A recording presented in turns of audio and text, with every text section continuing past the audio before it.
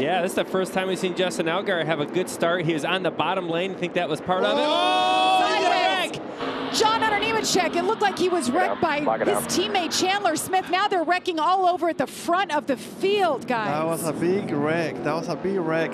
You know what? Everything goes back to the pit stop with the 81. The 81 was a little bit frustrated. He, he thought that he needed to gain the stuff quick, and he just got into a little bit tight spot right there in the middle between his teammate and the 98. You see Riley Herbst involved there. A John lot of good Nemechek. cars. Hailie Deegan. Have to wait for a replay to see what happened. Riley Herbst with some damage there. Quite a bit there in the left rear. Oh, Sam Mayer Mayer. again. Another race, man. Feel Run- bad for him. He worked got his fired way there. up. Still got a fire. Jeb Burton. Jeb Burton there. a lot of fluid. right There'll be there. a long caution there.